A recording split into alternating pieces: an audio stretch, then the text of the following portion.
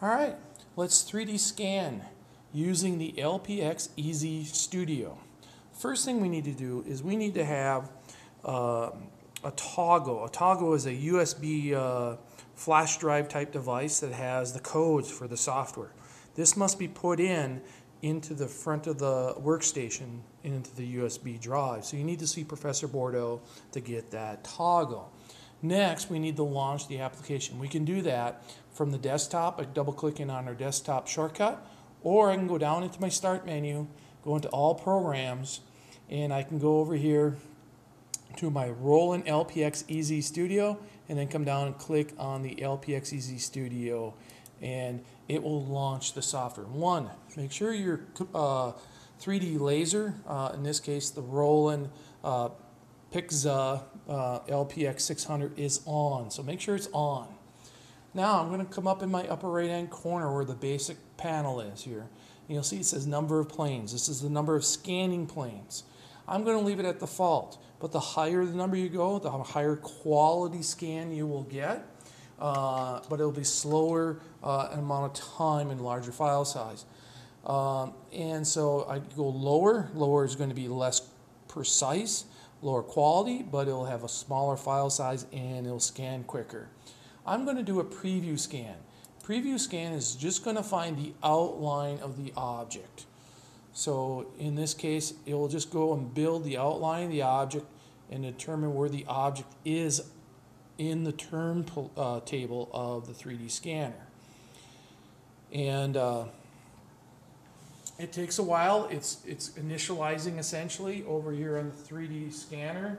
I can see uh, my uh, lights going around in a circle. And uh, it's communicating back and forth. It hasn't started anything yet.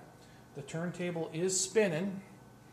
Uh, and it's trying to figure out, okay, here we go. So it's built an outline on the bottom. And then a little higher up, it builds another outline of the object and I'm scanning an old-fashioned pencil sharpener, like in grade school that was mounted on a wall. And you can see it then goes a little higher up in the Z values and builds an outline, builds an outline. It's just trying to figure out where the thing is in, in its space, in its 3D space. So this is not the actual scan. This is just a preview scan. Its whole purpose is to determine like where everything really is at this point. And uh, so that helps things out to figure out, okay, where is it, how big it is, um, you know, and that will help then with uh, everything down the road at this point. And you can see it's now getting up near the top of the uh, of the uh, pencil sharpener, and uh,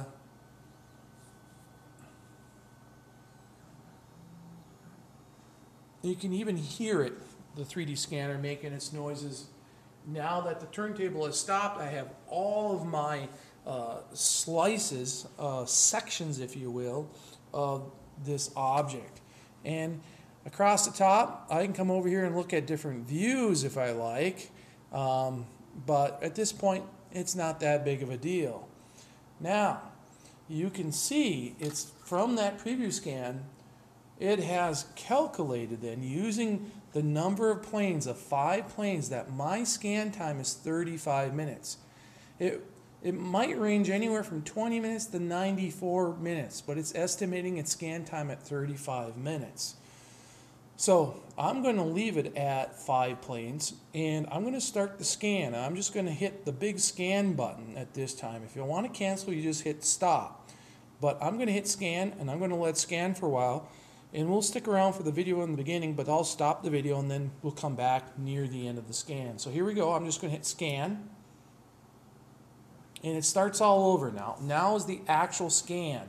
It's going to go through and it's going to uh, prepare uh, information communication back and forth to the uh, 3D printer. The 3D printer turntable is starting to spin. And it's going to go on a plane. In other words, it's got five different planes and it's measuring uh, basically 20% of the data. It's measuring all its data points going up.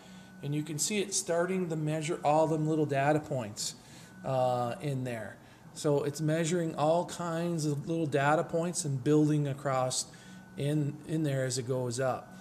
So uh, this is going to take a while, so we're going to take a little break and we'll come back uh, to this uh, shortly.